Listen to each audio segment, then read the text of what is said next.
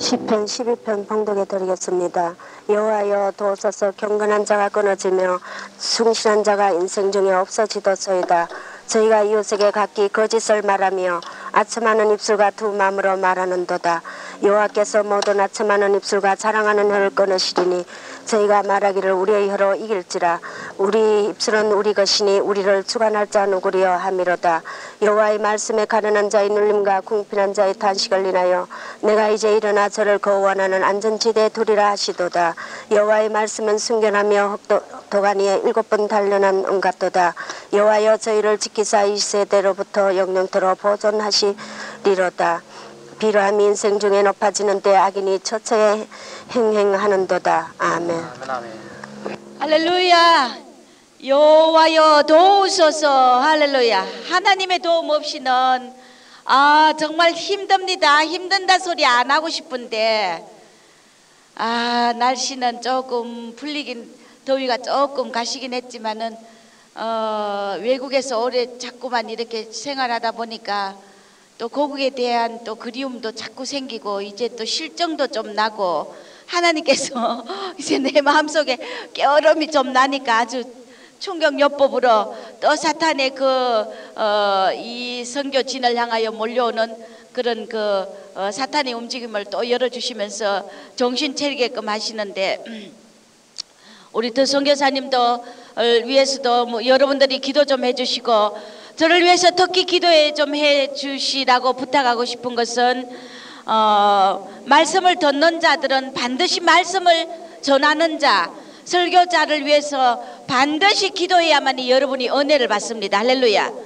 아, 여러분이 듣기만 하고 어, 말씀을 어, 전가하는 자를 위해서 설교자를 위해서 기도 안 해주면은 그것은 여러분이 은혜를 절대 받지 못합니다.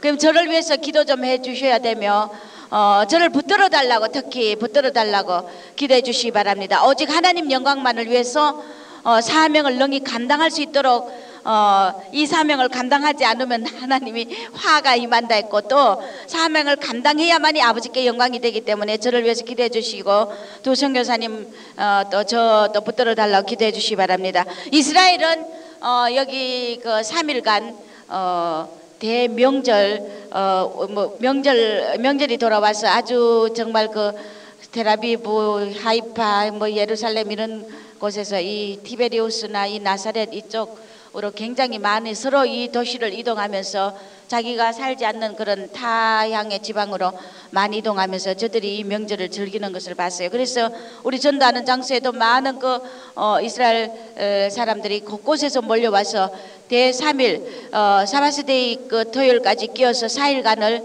연휴로서 굉장히 그 많은 사람이 이동했고 우리 전도하는 장소에도 이스라엘 백성들이 몰려왔기 때문에 하나님께서 아주 그 그들에게 비디오와 전도 지휘와 이런 것을 어, 전도하게 하시면서 이스라엘 백성들에게 전도한다는 것은 굉장히 그 참 어려운 일인데 하나님께서 어, 이 명절 기간 동안 이스라엘 백성에게 많은 그 하나님 말씀을 전도지와 태프를 전하게 하셨습니다. 요행이 그 저희들이 붙잡혀 죽지 않는 것은 어, 주님께서 붙들어 주셔, 주시지 않으면 우리가 한 발자국도 이 선교할 수 없으며 성령께서 도와주지 않으면 우리가 벌써 감옥서 어, 새고랑 차고 있어야 될 텐데 오늘 무사히 주일 예배를 드리게 한 하나님을 감사드립니다. 할렐루야. 아, 우리의 작은 무리지만은 야금야금 이스라엘 향한 그 영혼들을 어, 해방시키고 간에서 나오게 하기 위하여서 저들을 어, 전, 전도하게 하고 이스라엘 백성들을 야금야금 이래 먹어 들어가는 이런 전도 정말 사람이 보기에는 전혀 표시가 나지 않지만은 그러나 아, 이 전도지와 비디오를 통하여서 또 많은 사람이 이곳에서 어, 또 전도하기 위해서 힘쓰시겠죠. 협력하여 선을 이룹니다. 저희들만 전도하는 것이 아닙니다. 그러나 이렇게 적극적으로 하나님께서 어, 뭔가 대큰 그런 어, 역사로서 하는 게 아니고 어, 살곰살곰 이스라엘 그 정부와 이 모든 것이 눈치채지 못하도록 이렇게 야금야금 전도 어, 영혼들을 어, 저기 취하고 영광 받으시기 위하여 전도하게 하시는 하나님의 방법을 감사합니다. 오늘 본문에 보니까 여호와여 도우소서 경건한 자가 끊어지고 충실한 자가 인생 중에 없도소이다.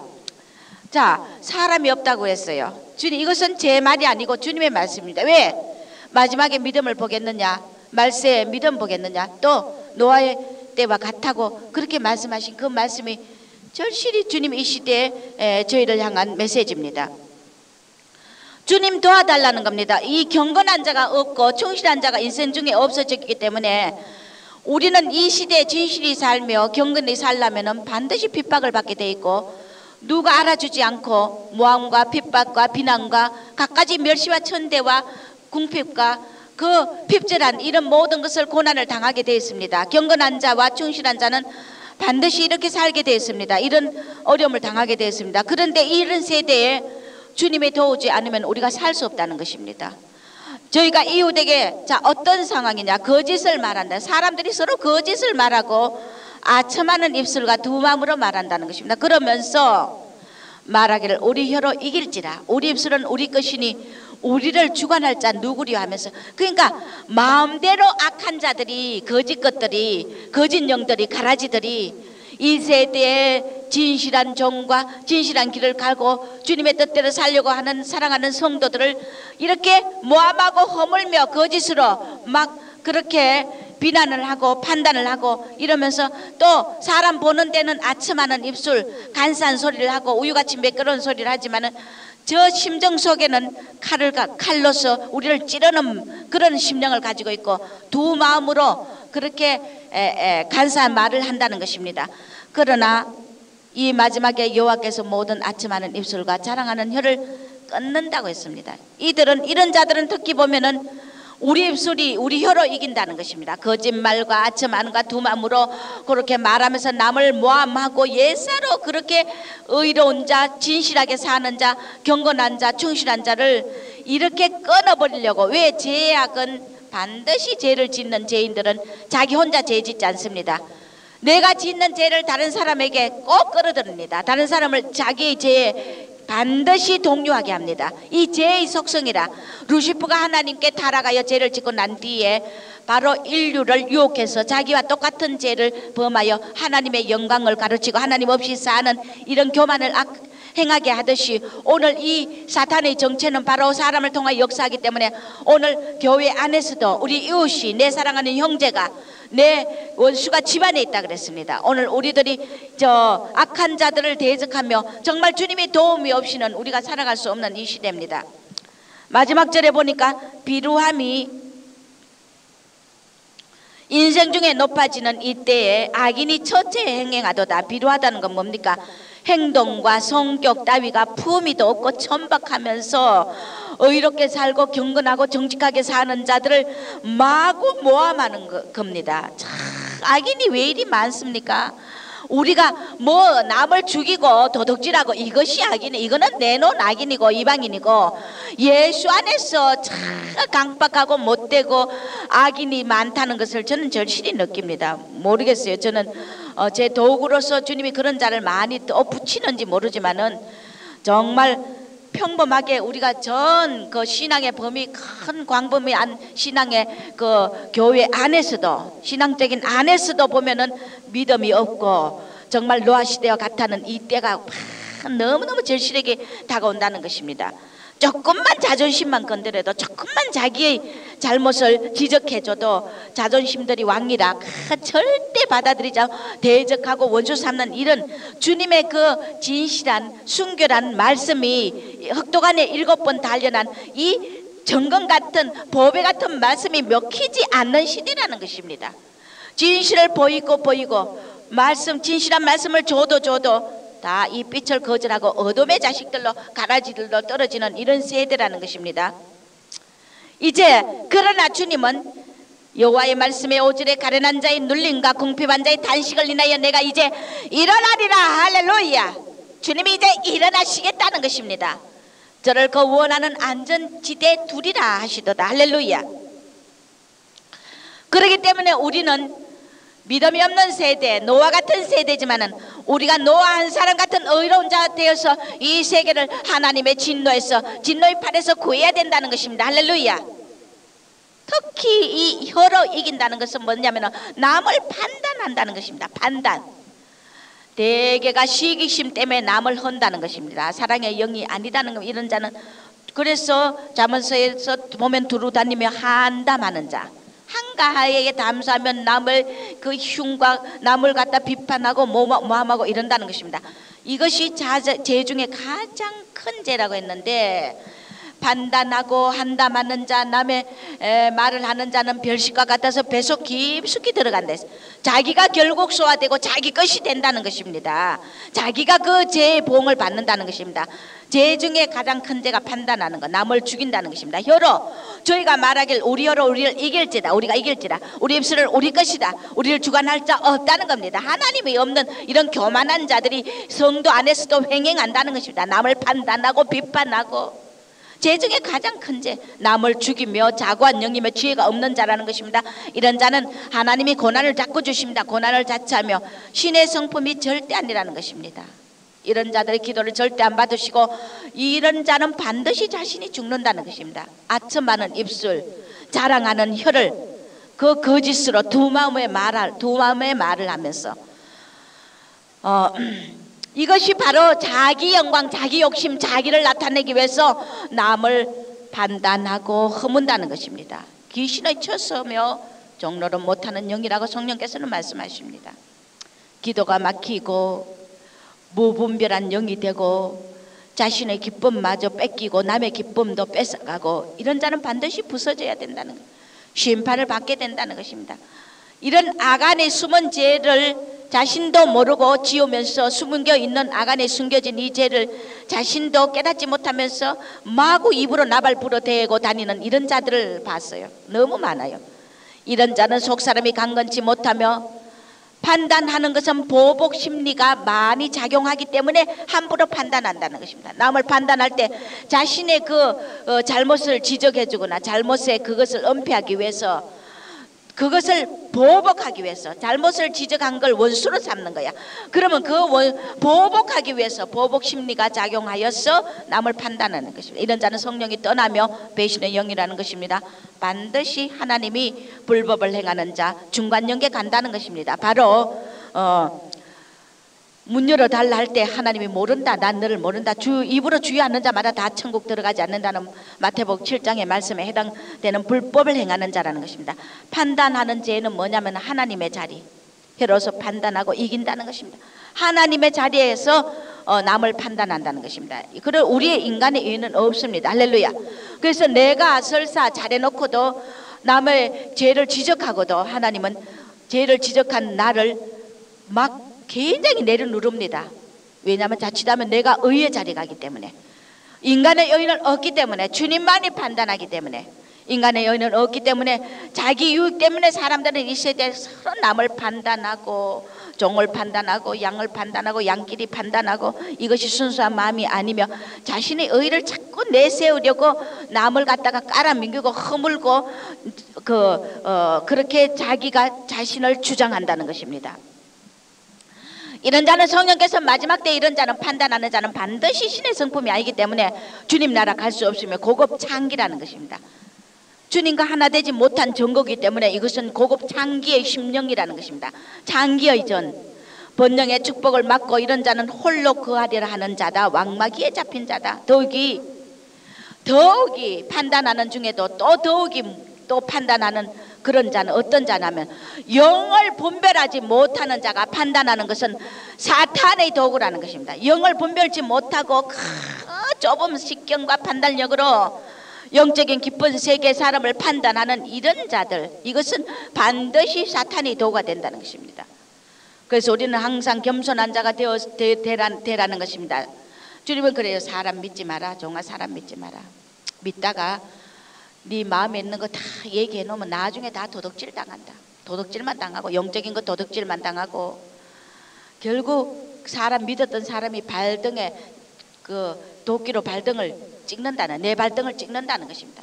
거의가 그러더라고요. 믿었던 자들이 탁탁 저를 걸고 넘어지고 모함을 하고 배신하고 돌아설 때 아 저는 야 사람이 이럴 수 있나 생떼 같은 거짓말로 하면서 저를 허물고 돌아다니고 또 다른 성도를 허물고 돌아다니는 이런 자들을 많이 봤어요. 그렇게 주님 뜻대로 삶을 자신이 의롭다고 자처하고 정말 하나님 위해서 정말 주님의 길을 간다고 하는 그런 자들도 어느 아침에 하루아침에 배신하더라고요. 야 사람을 믿어서 안 되겠더라고요. 그래서 네 품에 누운 네 아내에게도 네가 속에 말하지 말라 그랬어 하나님이. 이만큼 우리가 사람의 속성이 이렇게 가- 악하다는 것입니다. 그러나 예수 그리스도의 말씀의 빛이 이 시대에 왔기 때문에 우리가 하나하나 변화되어 가는 것인데 에, 주님은 복 중에 복은 가장 복은 뭐냐? 사랑이다. 사랑. 할렐루야. 사랑은 모든 허물을 허물까지 듣게 돼 있는데 허물은커녕 의로운 자 충실한 자 경건한 자를 바로 모함하고 거짓을 말하고 두 마음으로 말하, 말하는 이런 자들은 더구나 이거는 뭐 기본도 안 되는 자들이죠.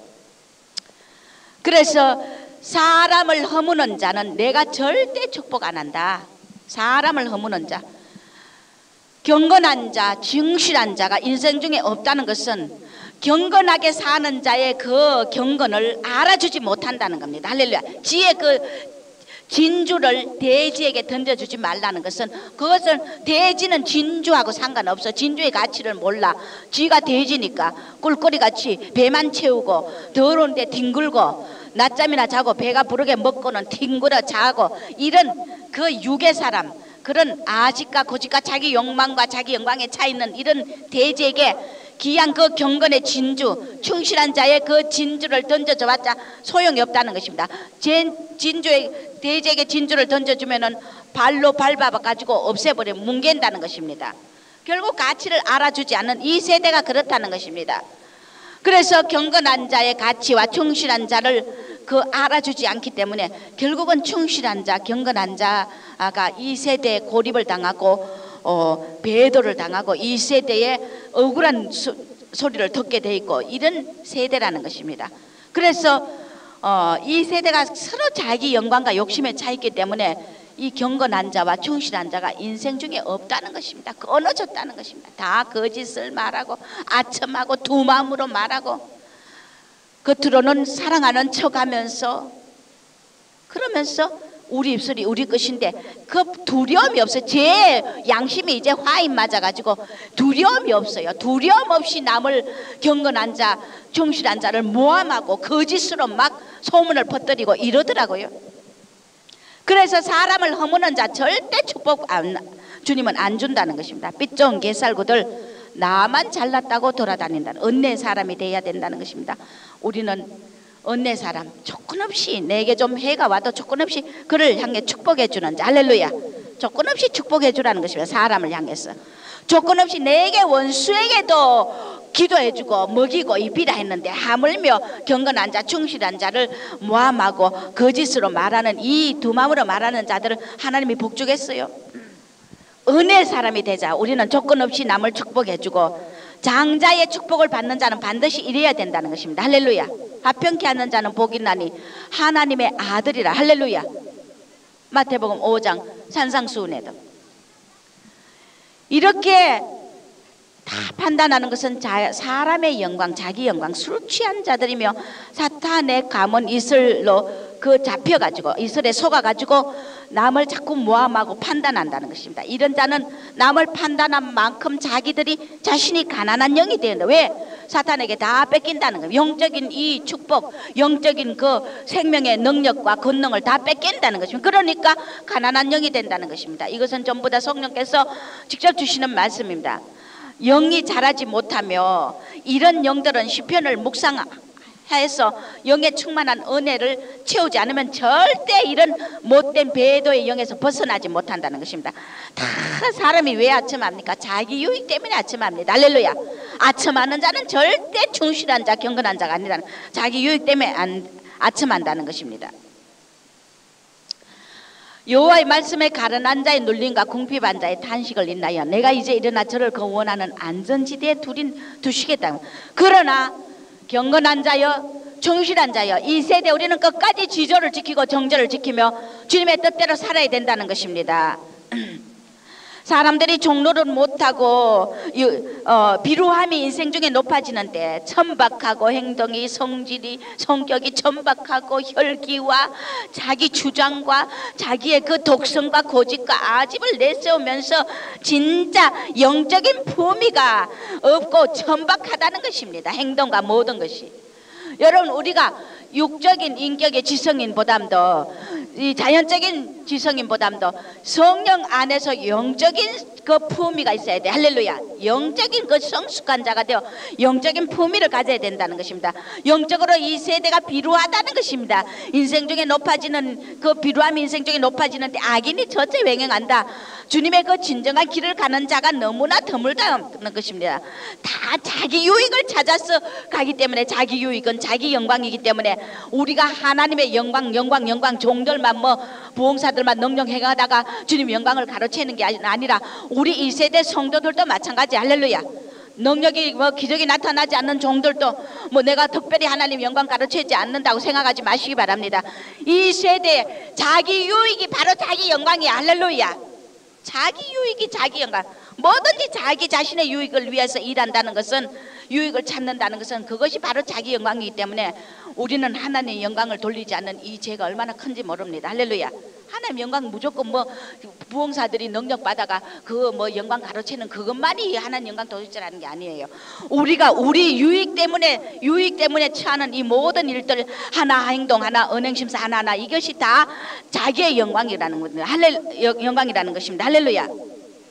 이런 것은 종로를 못하고 거짓 연계에 잡혀 서로 홀고 원망하며 갈 바를 알지 못하는 자들이라는 거. 밀어나고 둔한 세대와 생명들 보지 못하는 앞 영적인 그 앞에 그 눈을 보지 못하는 자 술 취한 세대가 낮아지지 못하여서 세상 건세가 판을 치면서 주인 없는 자들이 되어서 왕마귀의 객에 잡혀서 보암직 먹음직한 선악과 자기 자신의 유행만을 위해서 따라가기 때문에 이런 행동과 성질, 영적인 품위가 없고 천박한 자들로 떨어진다는 것입니다. 영적인 그 지성인, 성품 그런 혼의 인격을 가진 자들이 제일 무서워요. 산전수전 겪어보고 남에게 천대기 겪어보고 그 인간의 그 연단을 받아보고 남에게 그, 그 고난을 받으며 억눌림을 받아본 이런 연단 받은 자들은 성격이 좀 거친 것 같아도 그 속에 영적인 성숙한 그, 그 충실하고 경건한 면이 있어요. 근데 자연적인 그 혼의 인격을 가진 자, 지성, 세상이 말하는 그 지성이 뭐,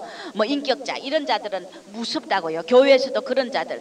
지식이 꽉차 있어 지식인 것을 내세우고 또 특히 그 연단을 받아보지 않은 그런 그 순수한 세대, 처녀나 총각 이런 세대들 아주 그런 사람들은 사실은 순수한 면이 있어요. 그러나 무섭다고요. 왜?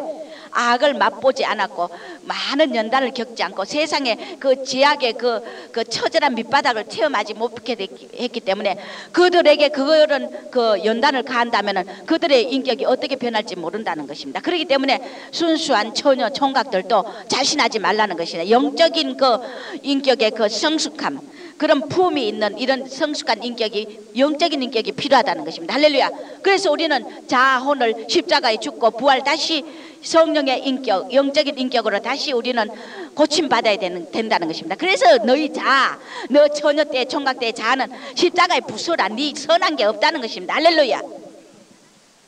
그래서 영, 저의 주위에 일하는 사람도 연단 많이 받은 자, 애도 낳아보고 가정에 남편에게 또 막 질시도 받아보고 부인에게 바가지도 끌고보고 눈물림 받고 연단 받고 고난 받은 자 이런 자를 저는 좋아하지 뭐 순수하다는 그 뭐 조금 그 악한 거 조금 어려운 연단 조금 그런 어, 죄 죄악의 그런 상황에 딱 부딪혀서 그를 다룰 때는 절대 그와 이기지 못한다는 것입니다. 순수한 면과는 안 돼요. 우리는 이 세대에 십자가의 철저히 혼의 이 인격을 죽이고 내가 순수한 것만이 전부가 아니고 정말 하나님의 그 이 세상의 죄와 접해보고 많은 고난과 많은 그 어, 부조리와 많은 그 악의 그런 모습들을 체험하고 난 뒤에 내가 성령의 성숙한 인격으로서 초월할 수 있는 원수도 사랑할 수 있는 이런 인격으로 영의 인격으로 화해해야 되는 것이 우리의 이 세대 주님이 우리를 다루시고 성령이 우리를 처리하시는 방법입니다. 할렐루야. 그렇기 때문에 함부로 혼으로 저 사람 인격자다고 판단하지 마시기 바랍니다. 그 속에 영의 성숙한 인격이 있냐 이것이 문제라는 것입니다. 제가 종종 이 말을 합니다. 그래서 여호와의 말씀은 순결함이요 흑도간에 일곱 번 단련한 은같도다. 일곱 번 단련한 정금 같은 말씀이 내게 다. 내 것이 돼야 돼. 할렐루야. 내가 이런 말씀을 체험해야 된다는 것입니다. 원수를 용서할 수 있는 그런 경지까지 원수를 수 없는 극한 원수. 나를 죽이고 날 모함하고 나를 비판하고 이유 없이 나를 갖다 거짓으로 모함하고 이런 자를 붙여봤을 때 내가 그를 용서할 수 있고 진정으로 그를 먹이고 입히고 기도해 줄 수 있는 이런 사랑하는 이런 자 일곱 번 단련한 은 같은 이런 정금 같은 말씀이 내 것이 된 자가 진짜 인격자라는 것입니다. 할렐루야. 그래서 하나님은 가짜를 일곱 번 말씀을 자꾸 우리에게 적용시켜서 가짜를 드러내고 심판의 영으로서 하나님이 말씀의 시- 그 어, 그 말씀에 적합하게 살 수 있는 능력의 사람이냐? 하나님의 말 나를 말에 입술로만 달달거리는 말 누가 못해 66건 다 외우고 달달거린다 해도 소용없어. 그 말대로 한마디도 한마디도 그 말씀대로 사느냐가 문제야. 할렐루야 그 말씀을 내 것으로 만드는 자가 그가 능력의 사람이라는 것입니다. 그래서 주님은 진리의 길을 가리키고 언제나 성실을 원하는 것이 하나님의 목적이기 때문에 충만한 영이 되려면 말씀에 그 일곱 번 단련한 그런 말씀의 능력자가 돼야 된다는 것입니다. 할렐루야. 주님은 왜 이렇게 일곱 번 단련한 은같이 우리 말씀 속에서 우리를 순결하게 만드느냐? 우리에게 천국의 안식의 힘을 주려고 할렐루야. 우리가 보- 영적으로 보지 못한 감기 눈을 떠게 하려고 할렐루야. 그러기 위해서 우리에게 일곱 번 단련한 말씀 정금 같은 말씀의 능력의 사람이 되게 하기 위해서 우리를 연단하시는 걸 믿으시기 바랍니다. 할렐루야. 가련한 자, 눌림과 궁핍한 자의 탄식을 인하여 내가 이제 일어나 저를 원하는 안전지대에 둔다 그랬어요. 가련한 자는 하나님이 내 보초에 있다. 이런 자들은 할렐루야.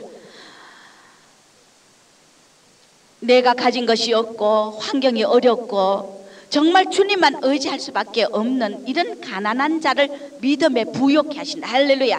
주님을 따르는 믿음을 주셨기 때문에 우리는 없는 자도 탄식할 일이 아닌 걸 믿으시기 바랍니다. 할렐루야.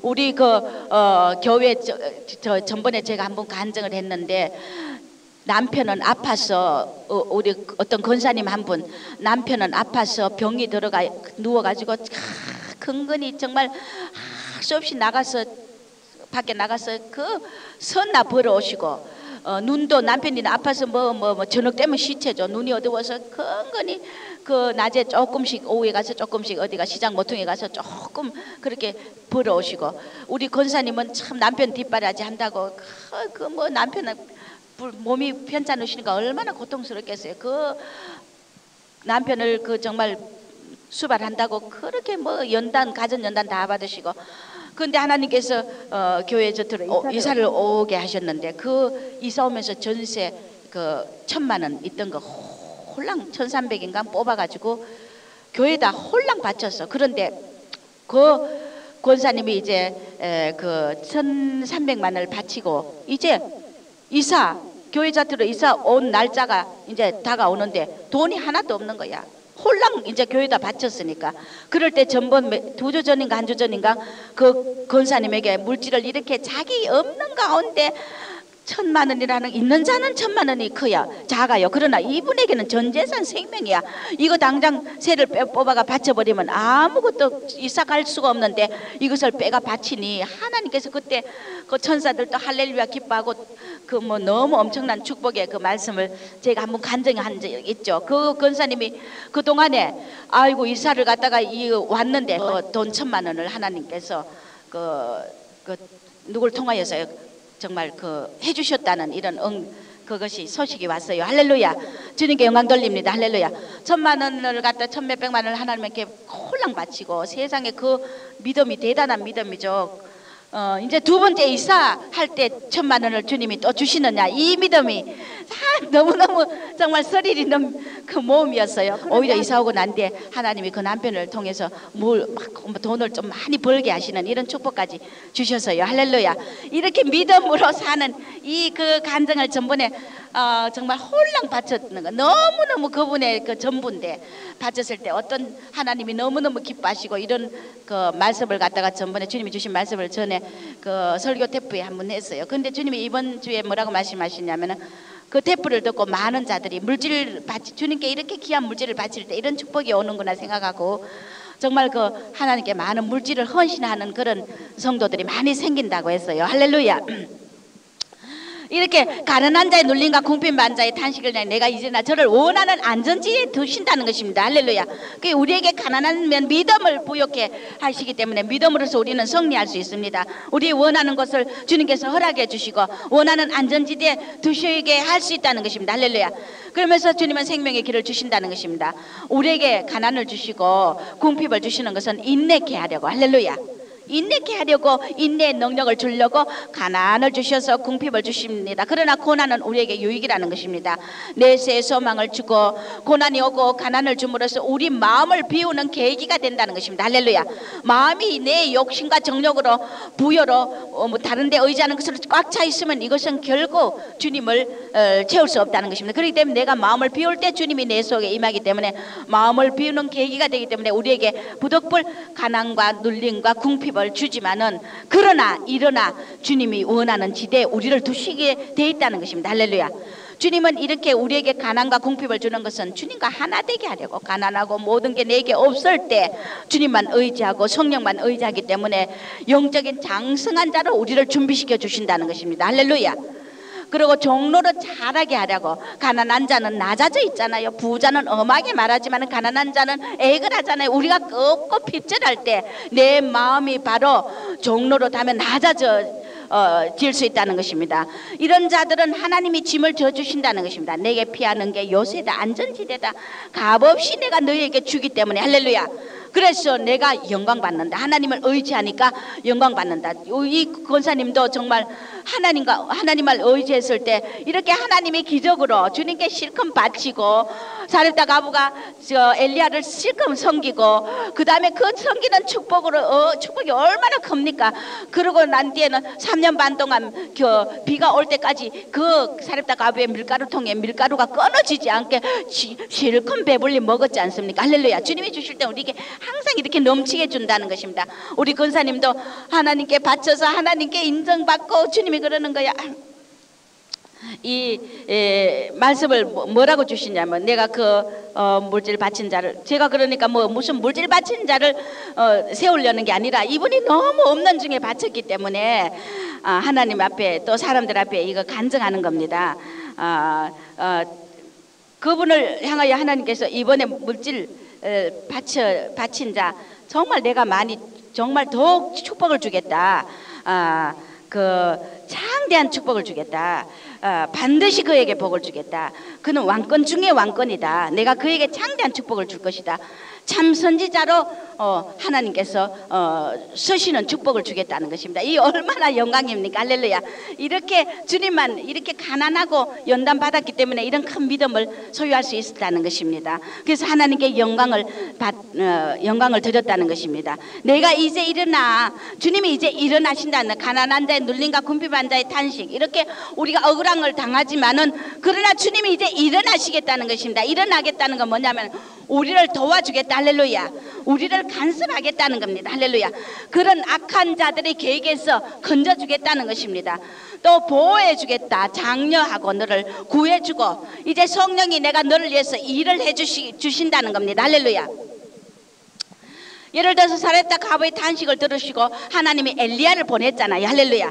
사렙다 가부가 이제 그 아들하고 먹고 죽을 일인데 하나님이 그 탄식을 들으시고 엘리야를 딱 보내가지고 일단 그를 시험합니다. 너 있는 거 다 내놔라고. 할렐루야.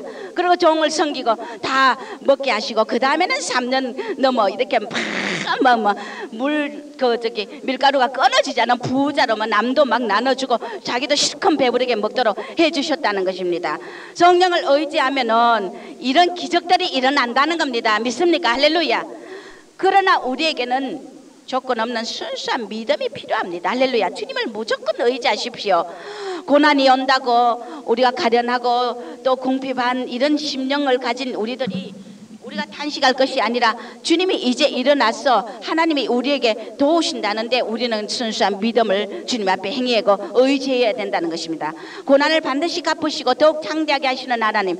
이럴 때 우리가 고난이 올 때 배신의 영 틈타지 않아야 되고 불평 원망하지 않아야 되며 시험에 들지 않아야 된다는 겁니다. 할렐루야. 반드시 우리를 구해준다는 구하면 반드시 우리가 하나님이 우리를 여호와 이래로 하나님이 갚아준다는 것입니다. 할렐루야. 아브라함에게 정말 믿음을 시험할 때 이삭을 할때 여호와 이래로 양을 순양을 예비하신 하나님. 할렐루야. 우리에게 예비한다는 것입니다. 믿음의 에, 사람이 되라는 것입니다. 오직 하나님만 의지하는. 그래서 하박국 3장 17절에 비록 무화과 나무가 무성치 못하고 포도나무에 열매가 없고 감람나무에 소출이 없어도 나는 여호와의 나의 즐거워하리니 여호와는 나의 힘이시라 나의 반석이시라 나의 발을 사슴의 발같이 하며 나를 높은 곳에 두시는 하나님 할렐루야 반드시 민첩한 그런 축복을 주며 높이 나를 가난한 자를 걸음떠면서 진토에서 일으켜 부유한 자와 왕과 함께 앉게 하시는 하나님 할렐루야. 사무엘서처럼 내 삶을 새 우리 주님께서 우리에게 이렇게 고난을 주는 것은 새로운 삶 할렐루야. 옛 습성을 버리고 옛 사람을 버리고 새로운 삶을 주려고 고난을 준다는 것입니다. 고난을 당하면은 우리에게 치료의 영이 오고 불순물이 제거, 제거되고 온년 성품으로 변하고 자기 의가 없어지고 천박한 영이 강건해지고 성숙한 영으로 변화되고 담대한 마음이 오고 할렐루야 고난을 겪고 나면 지혜가 생기고 축복이 오며 신의 성품에 참여하게 된다는 것입니다. 오직 주님만 바라보는 그런 사람으로 능력의 사람, 믿음의 사람으로 변한다는 것입니다. 할렐루야. 이렇게 우리에게 가련함과 궁핍한 이 고난을 주는 것은 새 것을 영적인 새 것을 주려고 할렐루야. 주님과 막힌 담이 흘리게 되고 고난이 오면은 종로로 자라게 되고 겸손한 영이 되고 이 고난을 여러분들이 주는 주시는 하나님의 연단과 고난을 감당만 하면은 할렐루야 다 피해버려 다 피해버려. 감당만 하면은 축복이 막 쏟아진다는 겁니다. 할렐루야 영적 참편이 된다는 것입니다. 그래서 눌린 자, 가난한 자를 건지는 축복이 만다는 영적 할례를 받게 되고 능력이 오고 순수한 믿음이 생기고 적과 꿀이 흐르는 축복의 땅을 차지하게 된다는 것입니다. 빛나는 영광이 오게 된다는 것입니다. 그러면 남에게 오리 가자면 심리도 가게 되는 이런 사랑의 사람으로 변하게 된다는 것입니다. 할렐루야. 고난이 이만큼 유익인데 어, 거짓 거짓 종들 그 어, 거짓 종들은 막 고난 없는 부활을 가리켜도 영광을 가리킨다고요. 반드시 주님이 주시는 이 고난을 감당하기만 하면은 우리는 하나님이 함께 하시고 눈동자같이 지켜주시기 때문에 장차 영광에 좋게 비교할 수 없는 것이 우리의 고난이라는 겁니다. 할렐루야. 장자의 축복은 반드시 이 길을 고난의 길을 하나님이 준다는 겁니다. 할렐루야. 성경에 어느 다윗과 야곱과 뭐 아브라함 주, 수없이 거꾸러뜨리고 수없이 죽이고 수없이 꼰지 받고 하나님이 이렇게 해서 그들을 축복 줬지 그냥 축복 준 적이 없어요. 절대 고난 없는 영광을 가리키는 자는 거짓종이라는 거 알아야 돼. 할렐루야. 고난을 좋아할 사람 누가 있어요? 고난을 가리키를 좋아하는 사람이 어디 있어요? 그러나 이것이 아버지의 방법. 고난 속에서 우리가 말씀의 그 어, 도가니에 일곱 번 단련한 그 순수한 말씀의 능력의 사람이 된다는 겁니다. 할렐루야. 어, 궁핍하면은 우리가 최고의 빈맘이 되며 사랑의 사람이 되고 가난하고 낮은 자를 사랑하고 그들을 어, 함께 할 수 있는 그런 사랑의 사람이 된다는 것입니다. 영적 빈곤이 부여로 가득하게 되고 연단복이 이래서 너무나 축복이라는 겁니다. 연단복이 얼마나 크냐 할렐루야. 연단한 만큼 능력이 오고 연단 받은 만큼 주님을 사랑하게 되고 연단 받은 만큼 하나님을 알게 알게 된다는 것입니다. 할렐루야. 저도 이 뭐 이 사역 하면서 뭐 하나님이 조금 뭐 거짓으로 지금 영광 받는 종을 그 상태를 열어주시고 영을 분별하게 하시고 메시지를 내려주고 지난주에도 하나님이 어, 한국에 그 큰 뭔가 역사하고 있는 이런 그, 그 중에 그 뭐 사탄의 그 잡혀가 영광 받고 거짓으로 가리키는 종을 밝혀주고 또 많은 종들을 가르쳐 줍니다. 기도하기 위해서 그렇게 영을 분별하고 거짓 종들에게 향한 메시지도 하나님이 뭐 폭포같이 열어주셔요. 열어주셔놓고 저를 또 가만두는 줄 압니까? 저도 영광 받을까봐 그저 내가 잘나 저 내가 하나님이 안 열어주면 내가 어떻게 합니까? 내가 뭔데 아무것도 모르는 존재인데 그 성령이 내 속에서 하시는 건 기름 부음이 역사하셔서 아르켜 주시는 건데 이렇게 에, 큰 종들이나 이런 분들을 그 비리와 그 거짓 사탄에 사로잡혀 이런 걸 열어주시고는 저가 또 교만하고 자만할 거 영광 받을까봐 하나님은 저를 내리 누르시고 그저 가만두질 않아요. 뭐 성전 지금 뺏어가 아직도 안, 안 이뤄주시죠. 뭐 내 맘대로 뭐 어림없어요. 성전을 뭐 하고 싶어서 성도들이 지금 또 겨울이 다가오는데 저는 막 미칠 것 같아요. 그런데 하나님이 이렇게 어려움과 고난과 연단과 수없는 그 죽는 체험 뭐 하루에도 뭐 뭐 몇 번씩 죽는 체험 뭐 주시고 뭐 깜빡깜빡 죽는 이런 경지를 수없이 아이고 연단 무서워서 연단 무서워서 이 사명 못하겠다는 소리가 절로 나오고 어떤 때는 이 걸레는 무슨 생각까지 드느냐면 하나님 하나님 나 서지 마십시오. 아버지 나 서지 마십시오. 난 두려워요. 저 영광 받는 종들 다 한 사람 없이 다 뭐 기적 일으키고 능력을 가진 종들이 한 사람 예 없이 다 죽더라고 다 죽더라고. 다 주님 영광 가로채고 바라 종아 다 죽었다는 게 다 죽었다 사탄의 도구가 되어가지고 다 자기들 영광 영광 취하고 다 저길 간다는 거예요. 다 죽는 길 가는데 나는 예배 없습니까? 나도 뭐 기적이나 턱턱 일어나고 뭐 이러면은 뭐 나는 더 할지 모르죠. 그러니 이 인간의 이 약함 사탄이 이거 종들 이렇게 다 죽인단 말이에요. 그러니 난 너무너무 두려워가지고 하나님 나이 시큰 일에 놓고 나도 마지막 때 가서 죽을 고생하고 이렇게 힘들게 일하고 나중에는 사람 영광 받았다고 말이여 하나님 앞에 내침 당하면 내 이거 뭐 남은 고에 넣고 나는 죽으니 바울처럼 날마다 나를 쳐서 복종하기 위해서 하나님이 고난과 죽는 경지를 뭐 매일 수도 없이 주니 아이고 질려가지고 이제는 하나님 나 일 못하겠다고 시골 가서 나 하나님 나 서지 마십시오 나 다 싫습니다. 내가 주님 영광만 돌리길 원하지만 나도 모르게 사람 영광 받고 내가 행여라도 잘났다고 높아지 져 가지고 주님 앞에 말이요. 그러면 자신은 압니까? 모른다고요. 자신은 모르고 그렇고 하나님 버려 둔다니까요. 나중에 서임 받다가 버린다니까요. 서고는 버리신다니까요. 이 세계가 얼마나 무서운 세계인데 주님 영광 아니면은 인간의 영광 돌리면 다 그렇게 죽는다고요. 그러니 뭐 나도 뭐 어디 뭐 특별히 뭐 잘났습니까? 하나님 붙들어 주니까 이렇게 하라도 한데 그러나 하나님께서 하나님 앞에 너무 두려워서 아버지 나 저 시골 가서 어, 산집 한 채 버려진 집 한 채 나 들어가서 나 이 세대 가 들어 앉아 가지고 이 세대를 향한 중보 기도하는 그그 자리에 난 눌러 앉겠다고 막 하나님 앞에 나 제발 하나님 나 나 이제 그만하겠다고 이 사명 그만하겠다고 막 그럴 때가 얼마나 많은지. 왜 너무 두려우니까? 하나님께서 보여주시는 거예요. 봐라 종들이 저 영광 받는 자들 봐라 그러면서 오늘 아침에도 또 설교하는데 또 응답을 주시는 거야. 영광 받내 영광 아닌 것 이 사람 영광 자기 유익 사람 영광이 이렇게 저주받는다는 거예요. 보니까 비유로 가르쳐 주는 거야. 막 내가 꿈속에서 막 어떤 그 젊은 그 종을 만나서 만나 가지고 봐라 저 봐라 저 한국에 지금 뭐 작년 지- 지난주에 설교 주님이 열어 주신 그 종의 그 사탄에 잡힌 그 종의 상태 거짓 영의 상태를 갖다가 내가 얘기하더라고요 꿈속에서도 보라고 저 한국에 이런 종이 한 두 명 있는데 한데 한 분은 또 어, 또 다른 종인데. 그러면서 얘기를 하면서도 내가 그 어떤 또 거짓 종에 잡힌 그 종과 함께 이렇게 가면서 그 종에게 뭐라고 말하냐면은 아 같이 가더니 그 종이 말이야 아 저기 말이야 너무너무 자기가 사랑하던 옛날 애인이 온다는 거야 옛날 애인이 온다고 떡 하면서 그 애인을 찾아가는 거예요 찾아가는데 아 보니까 나도 그 옛날 애인을 한번 찾아봤으면 하는 마음이 막 생기는 거야 옛날 애인 내가 옛날 애인이 뭐 누군지 모르지만은 그 꿈속에 보니까 내가 그그 종이 너무너무 사랑하는 옛날 애인을 딱 만났더니 그 애인을 갖다가 찾아 막 가는 거예요. 근데 나도 옆에서 어메 나도 저런 옛날 애인의 저, 저런 멋있는 애인을 좀 찾아가고 싶다고 내가 얘기를 하는 거야 꿈속에서.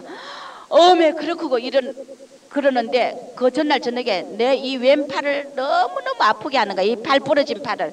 하나님이 왜 팔 부러, 부러뜨렸어? 지금까지 나 이 팔을 잘 못 쓰게 하는 이유는 뭐냐면 이 팔을 항상 나에게 경고하는 거야. 네 영광 받으면 이 팔을 통해서 어, 작년에 페트라 갔을 때 그 비디오 한 번 찍는데 다시 한 번 설명하면서 그 한데 네 영광 자칫하면 네 영광 나타나니 비디오가 뭐 그만 치우라고 하면서 그 그, 그, 그때 팔 부러졌을 때 이 팔이 지금 1년 됐는데도 아직 덜 났어요. 근데 이 근래는 팔이 굉장히 더 아파. 아버지 왜 이렇습니까? 그뭐 다른 거짓종을 밝혀놓고 성령의 능력으로 밝혀놓고 니또 영광 받을까봐. 니도 더 잘났다고 영광 받을까봐 이 팔을 새삼 아프게 힘이 없어 아주 팔이 아주 무거워서 막 아주 아 내가 운전을 좀 안 했으면 할 정도로까지 팔이 막 이렇게 막 힘이 없고 막 아픈 거야 아버지 좀 누가 좀 만져라도 좀 팔을 좀 주물라도 줬으면 하는 생각이 드는데 그럴 수도 없고. 그래서 아버지 왜 이렇습니까? 막 그렇게 기도하니까 오늘 그런 꿈을 딱 보여주면서 봐라 정아. 네 꿈속에서 저 옛날 애인을 찾아가는 그 종이 바로 어떤 종이냐? 주님을 주님은 참 남편이라 이거라 신랑이라 이거야. 근데 옛날 애인 애인 세상의 그 우상 영광. 그것을 자기 영광을 따라가는 종들의 모습이다. 새로운 신랑. 새로운 그 새로운 우리의 새로운 남편은 우리의 남편은 예수십니다. 할렐루야. 주님의 영광이 아닌 자기 영광 자기 욕심 자기 이권을 찾아서 옛날 옛습성 옛사람으로 자기 그 영광으로 그 제 옛 애인을 찾아가는 모습을 봐라. 꿈속에서 나도 찾아가고 싶어 하더라고요. 그러면서 내가 네 손을 힘이 없게 한 거 이게 네 손이 경고다. 항상 너는 사람의 영광을 취하고 싶고 네 유익을 찾아 내 영광을 위하지 않고 네 유익을 찾아서 하고 싶으면 이 팔이 낫지 않고 이거 지금 너가 힘이 없는 이것을 팔 부러진 때를 기억하라는 겁니다. 그러면서 꿈을 주면서 나도 그리로 쫓아가 아버지 아버지 아이고 일어나서 오늘 아침에 풀려 하나님 나도 내가 영광 받습니까? 아버지 그럼 나 이 당장 너 지금 출국하겠다고. 나 이 사명 다 버리고 난 출국하겠다. 남은 구해놓고 내가 말이야 지옥 떨어지면 내가 무슨 순가 내가 진심으로 주님의 영광을 돌리고 싶어 하지만은 나도 모르게 행여라도 참 다른 그 거짓 종들 영광 받는 종들을 하나님이 나를 통해서 밝혀놓고 내가 또 잘났다고 그들보다 잘났다고 우쭐댈까봐 아주 이렇게 내려누르는 거예요. 얼마나 무서운 자리인지 몰라. 그래서 아버지 나 이제 서지 말고 나 지금 그만 이제 시골에 갔어요. 집안재 사가지고요. 사지도 살 필요 없다. 뭐 시골에 버려진 집 쓰다니까 들어가서 나 기도만 이 세계를 향한 기도만 하고 앉아 있을게요. 아주 이런 고백이 절실히 나온다니까요. 그러나 주님은 이 사명을 감당해야 된다. 제가 이런 마음을 알고 또 하나님께서는 감당해야 된다고 이렇게 말씀하십니다. 이렇게 우리는 우리의 유익이 나의 영광이라는 걸 알아야 됩니다. 믿습니까? 가고 하나님 의지하지 않기 때문에 설번 영이 되며 축복은 내가 주는 고난을 감당해야 축복이 온다는 겁니다. 할렐루야. 고난은 결국 뭐냐? 고난은 주님이 우리에게 주시는 연단의 이 고난은 축복의 요새며 요람이다. 할렐루야. 축복의 요새 고난은 따라서요. 고난은 축복의 요새며 요람이다. 할렐루야. 나를 축복으로 일, 축복의 길로 이끄는 요람이라는 것입니다. 할렐루야. 그래서 주님이 주시는 이 고난을 감사하시길 주 이름으로 축원합니다. 팥종이 먹은 해수대로 갚아주시는 하나님. 나중에는 우리가 이런 것이 없도록 할렐루야. 그렇게 갚아주신다는 것입니다. 고난은 주님이 우리에게 주는 최선이라는 것입니다. 고난은 힘들고 피하기만 하고 이 환경을 극, 어, 바꿔달라고 하고 우리가 자꾸 힘들어서 이렇게 하면은 하나님 난 환경을 결코 이기지 못하고 난 피해야 되겠고 난 정말 이 환경을 바꿔달라면 바꿔주시긴 한답니다 하나님이. 네가 전 고난의 연단을 못 견디겠느냐? 나는 널 축복 주기 위해서 고난을 주는데 네가 못 견디겠냐? 그러면 바꿔주려면 바꿔준다요. 항상 그렇게 바꿔주는 건 아니지만 어느 때 바꿔줄 수도 있대요 고난을. 그러나 영적인 절부가 된다는 겁니다 절부 하나님의 그 하늘의 영광 왕권 장자 축복을 받지 못한다는 것입니다.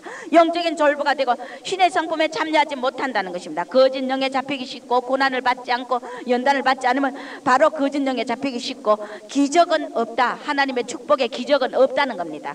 그래서 하나님은 어, 하나님 도움 받기는 하지만은 그런 자를 하나님이 그, 그 빚값으로 산 자녀이기 때문에 이끌기는 하지만은 그러나 하나님이 도움을 주고 뭐 물질도 주고 하지만은 큰 기적의 축복은 네가 못 받는다. 할렐루야. 큰 기적의 축복 못 받는 영광이 없다는 겁니다. 고난을 거절하는 자는 축복을 거절한다. 할렐루야. 따라하세요. 고난을 거절하면 연단을 피하면 축복을 거부하는 거다. 할렐루야. 믿음 없는 자로 전락하고 사생아가 되고 자기 유익 때문에 고난을 피하기 때문에 결국은 이런 졸부가 되고 지적 성화를 할- 받을 수 없고 결국은 자신이 왕이 된다는 겁니다. 그래서 빠른 경주자가 아닌 느린 경주자 거북이처럼 느린 경주자가 되고 나중엔 처진다는 것입니다. 나중에 버림받게까지 된다는 것입니다. 이 영적인 수술을 받을 수가 없다는 고난을 어, 안 받으면 영적인 수술을 받을 수가 없다. 우리 암병 터진 거, 상한 거, 병든 영적으로 병든 것을 수술 받으려면 고난이 필연이라는 것입니다. 고침 받지 못하면 영적이 히- 영적으로 힘 없는 자, 능력 없는 자 이런 졸부가 된다는 겁니다. 믿습니까? 할렐루야. 영적인 분별력도 흐려지고 그래서 우리는 연단을 받아 지각으로 선악을 분별하는 그런 영분별자가 되길 주 이름으로 추, 축원합니다. 할렐루야. 절대 타인에게 유익을 절대 못 준다는 것입니다. 남의 고통거리, 문제거리만 되지 유익을 절대 못 주는 자. 그러니까 어린 영적으로 어린 자가 된다는 것입니다. 사명엔 반드시 하나님이 연단 고난이 필요하고 우리에게 연단 준다는 것입니다. 그래서 고난을 주면서 사람 사랑하는 비결을 가르치고 왕권을 주고 기도하게 하려고 소망을 주려고 정한 날까지 하나님이 우리를 부수고 문드러뜨리고 우리를 고난을 준다는 것입니다. 그랬기 때문에 우리는 가련한 자의 눌림과 궁핍한 자의 탄식 이렇게 끝까지 궁핍하고 가련한 처치에 있으면서 눌림과 탄식을 받으면서 어, 고백하면서도 이렇게 주님이 주시는 연단의 고난의 길 그 길을 가는 자가 얼마가 되느냐 이런 자가 인생 중에 끊어졌다 없다는 겁니다.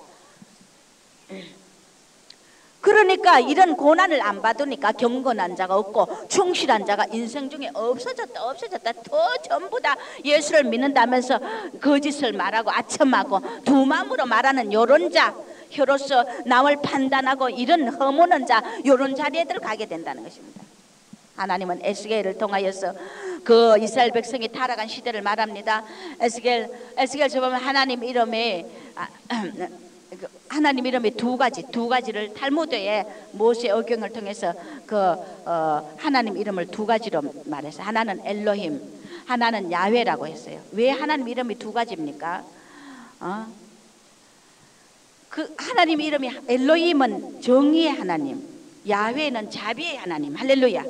이 두 가지가 엘로힘의 하나님은 정의의 하나님인데 그러면 뜻이 정의의 하나님인데 정 주님의 공의 정의만 가지고 이 우리를 다스리면 우리는 하나님의 정의 공의 앞에 다 죄인이기 때문에 설 자 아무도 구원받을 자 아무도 없어. 그러면 야외 하나님 자비 아니면 그러면 야외 자비만 있는 하나님이면은 우리는 무질서하고 우리 멋대로 자유분방하고 질 수 없는 이런 그런 사탄의 자식이 돼버리기 때문에 사랑만 받아서도 안 된다는 것입니다. 그렇기 때문에 우리가 하나님이 사람을 지배하고 세상을 지배할 때 이 두 가지 이름을 가지고 뜻, 능력의 뜻을 가지고 지배한다는 것입니다. 결국 이 정말 그 효과적으로 정의와 자비를 공의 안에 두어 가지고 우리를 다루시기 때문에 반드시 우리에게 고난이 있다는 겁니다. 할렐루야. 고난 없다고 가리키는 자 이 거짓종이라는 거 알아야 돼. 할렐루야. 다 피합니다. 고난은.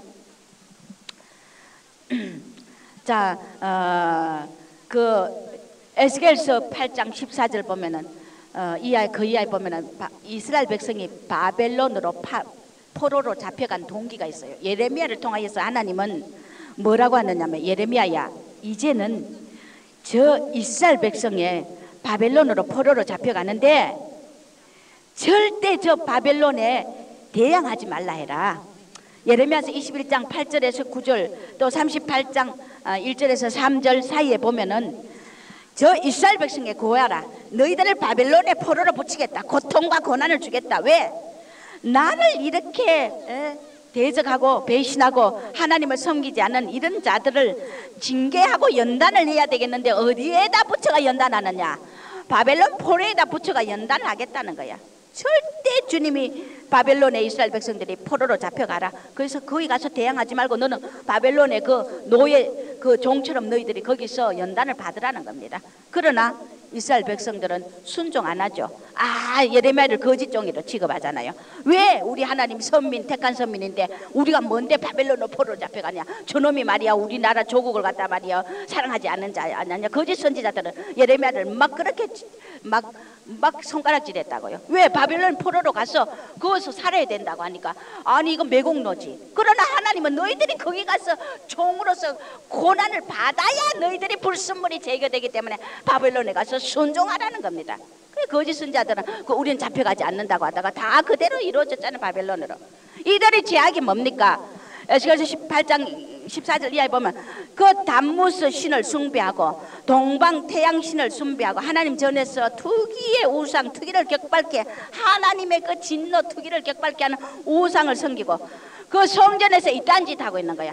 장로 70인 장로도 우상 여호와의 전에서 우상을 섬기고 그저 벽에다 그림을 그려놓고 우상의 그림을 그려놓고 벌레, 짐승, 곤충까지 그려놓고 거기서 애곡하고 여인들이 또 앉아가 담무스 신에게 또 절하고 통곡하고 장로들 까지 이 짓을 하고 다 이 짓을 한다며 이스라엘 백성이.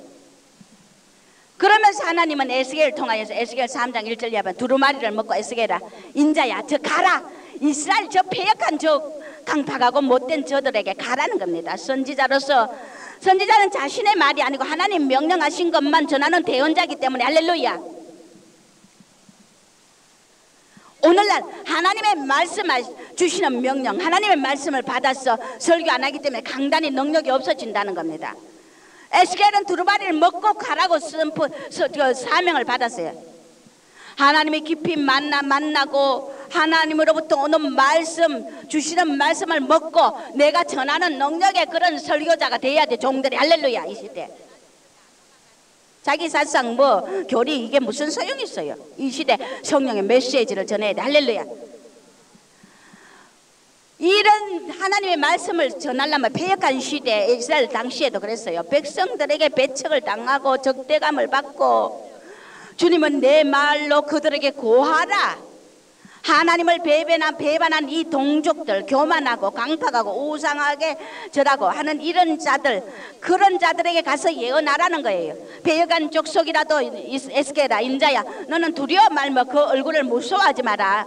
그리고 담대히 전하라고 말합니다. 그들이 듣던지 안 듣던지 주 여호와의 말씀이 이러하시다라 할렐루야. 이렇게 전하라고 합니다. 에스겔서 3장 12절 이하, 이하에 주의 신이 에스겔을 들어 올려 보니까 에스겔이 참 하나님의 성령에 이끌려 천지 사이에 들어 올려 보니까 이스라엘이 하는 짓들이 가관이거든. 너무너무 하나님을 대적하고 속에 우상을 두고 오늘 이 시대 교회가 뭐 에스겔 시대 이스라엘 시대 뭐 이- 여기 뭐 성전 안에 진짜 우상이 우상입니까? 오늘 우리 마음속에 주님 아닌 것들로 얼마나 성도들이 가득 채우고 종이나 성도들이나 마음속에 하나님 아닌 우상으로 가득 채 있다는 것입니다 자식과 돈과 명예와 남편과 아내와 집과 모든 이 우상들로 가득 채워놓고 주님을 온전히 섬기지 않는다는 겁니다 이것이 우리 속에 우상이 할렐루야 우리가 요전에 그 몇 주 전에 한번 저 포도 포도밭에 추수하고 난 포도밭에 가면 뭐 금포도가 수복이죠. 금포도 이렇게 아주 잘고 짠 포도들이 그냥 말라가지고 자연으로 금포도 된 게 맛있어야지. 하나님이 그 뭐 밭대기로 한 번씩 줄 땐 밭대기로 줘요. 그 포도도 금포도가 덜 된 생생한 포도 자자한 포도가 시도 없고 너무너무 달아. 우리 성효 선생하고 모두 뭐 뭐 맥광주리를 따가 왔죠. 그래가지고 포도 또 굵은 것도 땄어요. 저 포도 추수하고 난 뒤에 뭐 남은 밭이니까 마음대로 따먹죠. 뭐 너무너무 많이 있어가. 그것을 따가 와가지고 저녁에 수요일인데 그날 수요일인데 아 주일인데 주일날 포도를 뭐막 몇 자루를 따가지고 갖다 놓고 그걸 따듬는다고 포도주도 담고 따듬는다고. 아 저녁에 오후 예배 주일날 오후 예배를 아, 몇 시에 들었는 밤 11시에. 하나님 앞에 밤 11시에 들었어. 아, 포도를 널어놓고 예배를 드릴 수 없어가지고 하나님 죄송합니다 하면서 포도 그거 다 따듬어가 술 담가놓고 서있어. 그래놓고 밤 11시까지 일해놓고 11시에 바- 오후 예배를 딱 주일날 오후 예배를 들어서 근데 하나님이 예배 드리고 난다 딱 누워 있으니까 환상을 보여주는데 포도 광주리 속에 그다는 부처 대가리가 딱 걸려 있는 걸 보여주시더라. 네가 이 순간 포도가 우상이 돼가 내 예배 드릴 제 시간에 예배 오후 예배 안 드리고 네가 그 포도에 미쳐가지고 포도 그거 다 따듬는다고 예배 시간을 갖다 여- 밤 11시에 들었으니 네 포도가 우상이 아니야. 우상이 다른 거 없어 여러분. 간단해요. 우상 간단합니다. 예배 드릴 시간에 내가 다른 거 한다고 포도 따듬 는다고 포도 따는 거 밤 11시에 되려니 하나님이 그 포도 광주리에 부처 머리 크다는 거 보여주고 네 그게 우상이라 나중에 그 포도가 나중에는 나중에 남은 것들은 뭐 먹지도 못하고 우리가 씹어 좀 선맛이 나가지고 그 하나님이 그렇게 말이라 그 포도를 축복 안 해주고 맛없게 만들더라고요. 우리가 뭘 내 순간순간 주님의 기도해야 될 텐데 안 하고 내 다른 일 하고 내 뭐 내 개인의 욕심 이권 때문에 가면 그게 우상이야. 우상이 뭐 에스겔 시대 뭐 이스라엘 백성이 성전에 걸려진 우상만 우상이 아니야. 오늘 우리 마음속에 심령의 전에 우상이 가득하다는 것입니다. 할렐루야. 그러니까 에스겔 시대와 똑같다는 것입니다. 듣든지 안 듣든지 주의 말씀 이라다 전하라 그리고 주의 신이 성령이 들여올려 보니까 이스라엘이 영적 상태가 심각하거든. 에스겔이 보니까. 너무 속에 우상들. 오늘 이 시대 우리 교인 성도들 종들이나 우리 마찬가지. 우리 속에 주를 입술로 섬긴다면서 속에 우상들이 가득해. 가대 명예가 우상이고 영, 자기 영광 자기 유익 자기 욕심이 우상이 되어서 가득하단 말이에요. 이 에스겔 시대와 똑같다는 겁니다 이 에스겔이 정말 위에서 보니까 하나님의 그 신을 성령의 눈으로 보니까 불꽃 같은 일곱 눈의 성령으로 보니까 어메 이스라엘의 영적 상태가 너무너무 심각한 거야 심각해 그러니까 배역한 이스라엘 향하여서 그 이- 에스겔이 근심하고 분한 마음으로 7일을 보냈다 그랬어요 막 근심하면서 분통이 터져서 못 살게 하는 거야 왜? 하나님을 두고 이 시대를 하거든 속에 전부 우상을 두고 입술로는 그 하나님의 전이라고 주 입술로 하나님 숭배하고 있단 말이에요. 그러니 분노가 치밀어 가지고 가슴이 답답하여 어, 정말 하나님 그 7일 동안 보내고 있는데 하나님의 삶의 감당을 권능을 주고 이 목이 뻣뻣하고 교만한 그 자들에게 가서 전하라고 합니다. 전하 전하라고 파수꾼을 하나님이 에스겔을 파수꾼으로서 하나님의 대리자로서 막중한 책임을 감당하게 합니다.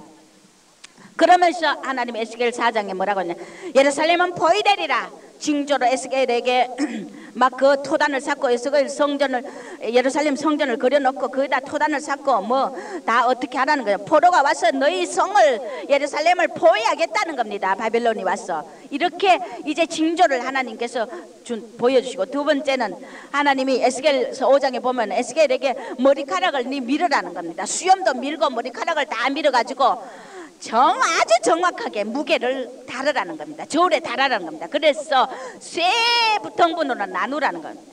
그리고 이스라엘 그 어, 3분의 1은 성읍 안에서 불살러라. 이것은 기근과 연병으로 이 3분의 1 죽으리라. 3분의 1은 칼로 큰 성읍 사방에 쳐서 이 머리카락을 부숴뜨리게 해라. 이것은 뭐냐면 칼로 사람들이 죽임을 당하며 또 3분의 1은 바람에 흩어서 날리라는 머리카락을 이런 가시적인 것을 어, 이, 그 하나님의 메시지로 보입니다. 바람에 흩어라는 것은 포로로 잡혀가서 머리털같이 가볍게 취급을 당하고 선민이지만은 그들이 하나님 앞에 힘이 없고 흔적 없이 흩어버리고 이런 하나님을 대적하고 우상을 가지고 있는 자들, 하나님 뜻대로 살지 않는 자들 이렇게 세 종류로 분리해서 다 죽이겠다는 겁니다. 오늘 이 에스겔서가 우리 이 시대 이스라엘 백성들은 보면 이게 라피들도 보면 수염이 더불어 너무나 멋있어. 수염과 머리카락도 아주 커 아주 너무 아름다워요. 심지어는 귀 밑에 뭐 돼지 꼬리같이 뭐 꼬불꼬불한 그 라피들 머리 길게 하는 그것도 멋있대 보니까. 이스라엘 백성의 그그 참말 권위 있는 것 같고 좀 그 모습이 아주 그 무게 있게 보이고 그 아름답게 보이는 것은 뭐냐면 이 수염이 너무너무 뭐 더부룩하게 멋있게 그렇게 나더라고요. 그런데 이 수염 머리털을 다 깎아버려 이 수치를 당한다네. 이 너의 권위와 너의 모든 것이 다 너, 수치로 조롱으로 내가 너희들을 처리하겠다는 저주를 내리겠다는 거 주님이. 이렇게 머리카락을 밀어가지고 하나님이 이렇게 선민들도조차도 하나님이 너- 하나님을 대적하고 노골적으로 경멸하고 하나님 전에서 이딴 짓을 하니까 하나님이 얼마나 분통이 터지겠어요. 오늘 주님을 섬긴다는 우리들이 정말 바알이냐 여호와냐 할렐루야 두 중에서 머뭇거리면 하나님 앞에 이런 심판을 받게 된다는 것입니다. 믿습니까? 오직 나는 여호와만 섬겨야 돼 할렐루야 나와 내 집은 여호와만 할렐루야 그래서 에스겔서 5장 9절에 보면 전부 허무한 벌을 하나님이 선언합- 선언합니다. 이스라엘 백성이 전혀 생각지도 않은 저주 그 징계를 받게 됩니다. 하나님은 절대 우리 예, 우리 우리에게 그럴 뿐이 아니다 생각한 그 방법을 쓰시는 거야. 이 세대가 그럽니다. 우리가 뭐 예수 믿는데 설마 뭐 하나님이 지옥 보낼까?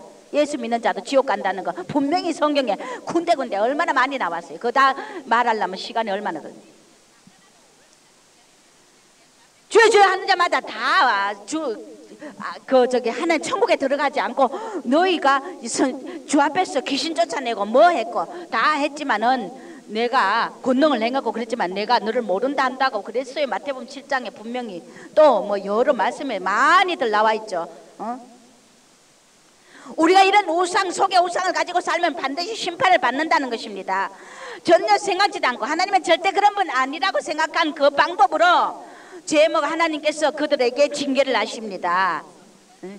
이들 제목이 뭡니까? 너희가 열방의 모범이 돼야 되는데 하나님이 너에게 은혜를 주고 풍성하게 줬는데 너가 악을 행하고 규례를 어겼다는 겁니다. 두 번째는 너희가 이방인보다 더 악을 행했다. 불경건한 행위와 무절제한 온갖 악행위. 예수 믿는 자들이 못되니까 더 못됐대요 보니까. 세 번째 성소를 더럽혔다는 거. 하나님 임재, 하나님 영광이 충만한 이 성소에 너의 심령의 성소에 하나님의 전에 우상을 가득했다는 것입니다. 세상 권세 끌어오고 세상 물질 끌어오고 세상 명예 끌어오고 온갖 우상으로 채우는 이 시대가 똑같다는 것입니다. 우상이 가득하다는 건 하나님을 무시한다는 겁니다. 경멸한다는 겁니다. 그래서 하나님은 이 예언자를 보냅니다. 게스게를 그러나 이들이 예언을 무시하고 예언자까지 무시하고 하나님 경고를 절대 안 듣습니다. 처음엔 두려워서 긴장하다가 나중에는 메시지를 자꾸 주면요. 나중에는 화인 맞아가 이제는 믿지 않고 거짓종으로 취급하더라고요. 저도 어떤 때는 성도들 수술하기 위해서 하나님이 내려주는 메시지를 줍니다.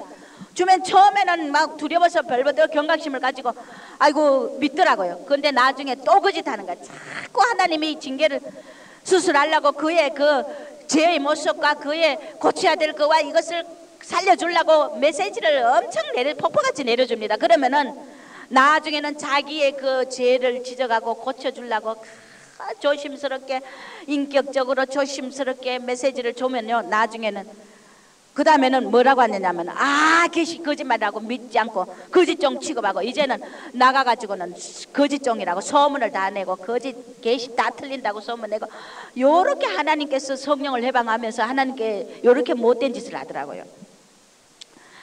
자신의 악을 감추려고 예언을 멸시하고 하나님께 돌아오지 않고 계속 거역하고 완악하는 이 완악한 짓을 하는 이 그 이스라엘 백성과 이 시대가 똑같더라고요. 나도 이것을 체험해요, 사실은요.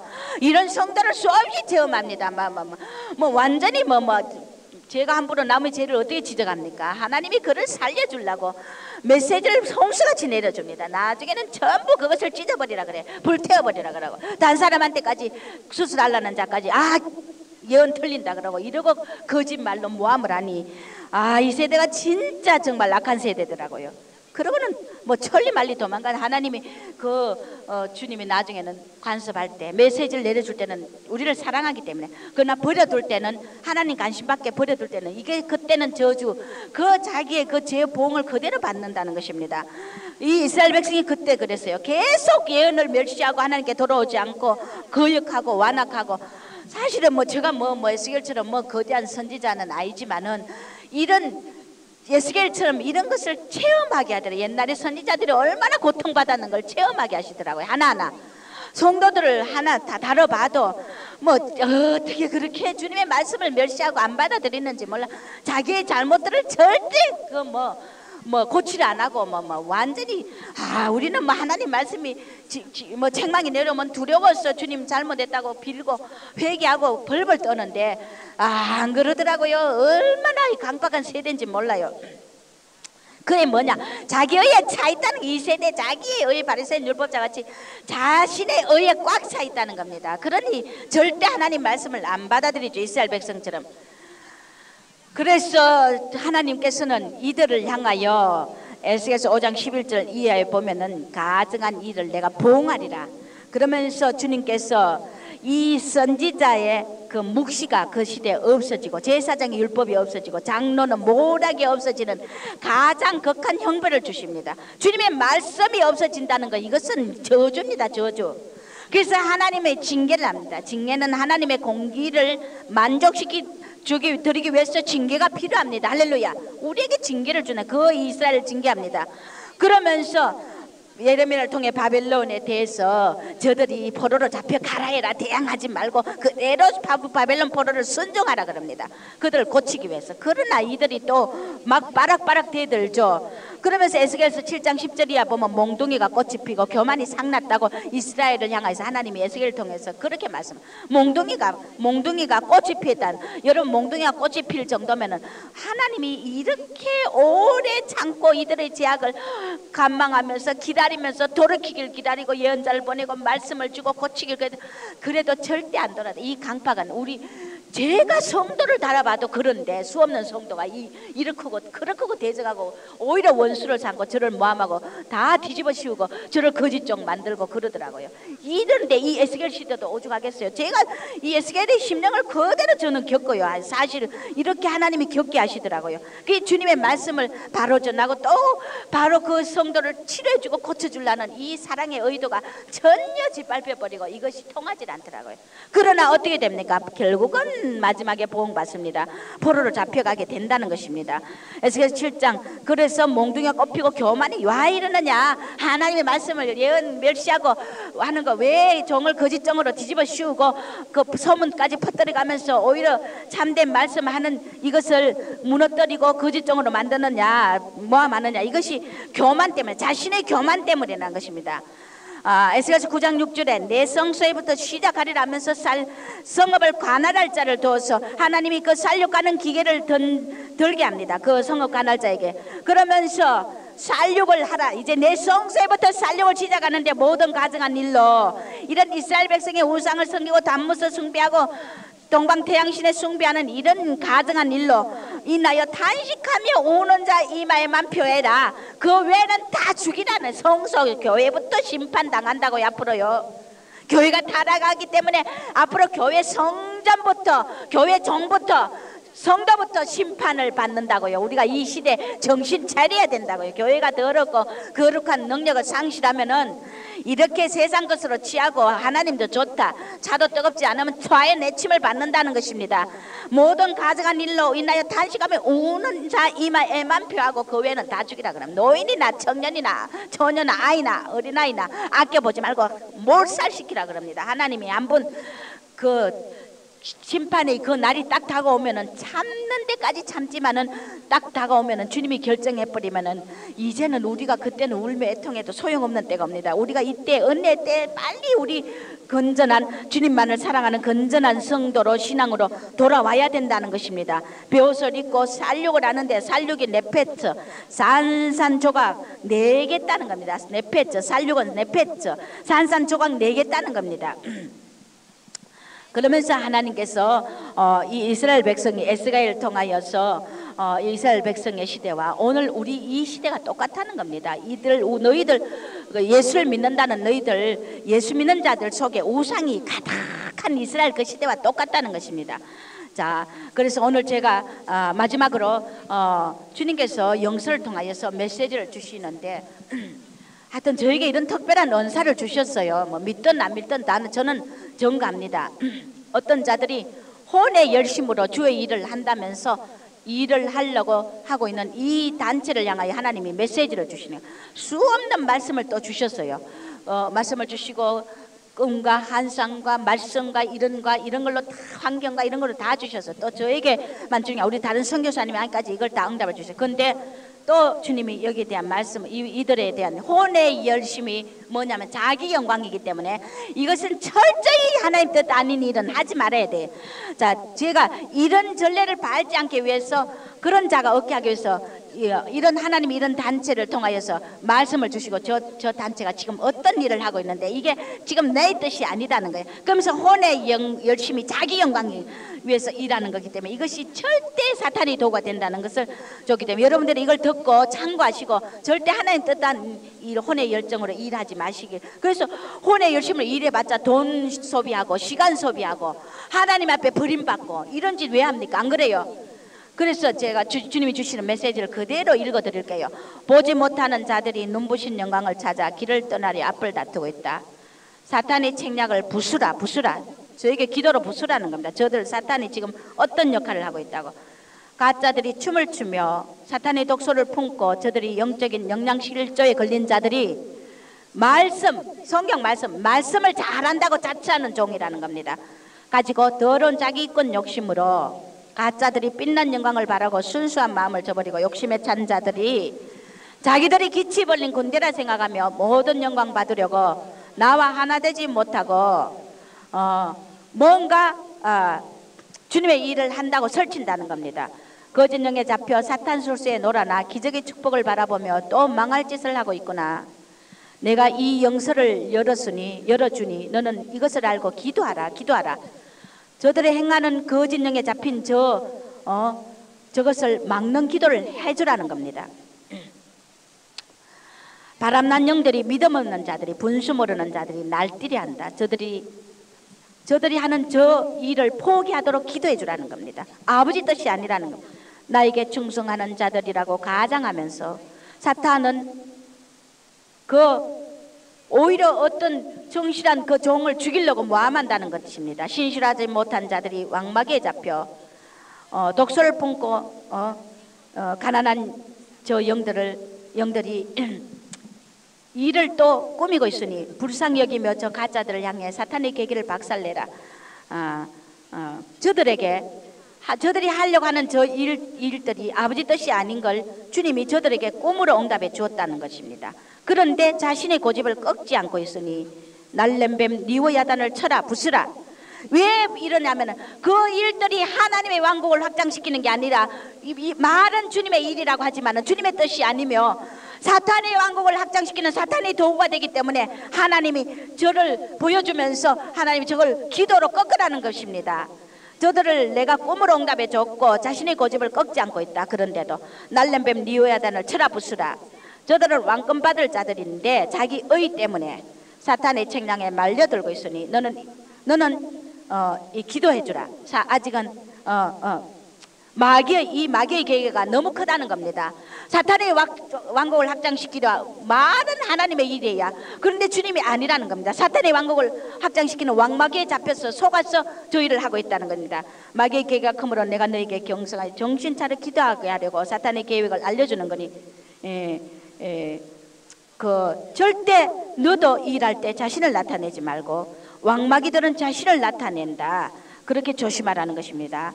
아, 기치를 벌린 군대, 저들이 기치를 벌린 군대라고 자취하는데 아니라는 겁니다. 너희들이 기치를 벌린 군대라고 잡아느냐? 이 사랑하는 영들아, 사랑 없는 영들아, 자기 의에 차서 날고 뛰는 사육자들인 줄 착각하고 있으며, 어 미련한 것들, 뭘 또 꾸미고 있느냐? 이 버림받을 자들아. 주님이 일을 한다고 막 계획을 세우는데 주님이 아니라는 겁니다. 이 버림받을 자들이나 오히려 사탄의 왕국을 확장시키려 일을 꾸민다는 것입니다. 자, 자신을 나타내려고 그 속에 숨은 그들의 마음을 드러내십니다. 자신 저들이 자신을 나타내려고 자기 영광 찾아 어, 찾아 아, 이렇게 에, 일을 꾸민다는 것입니다.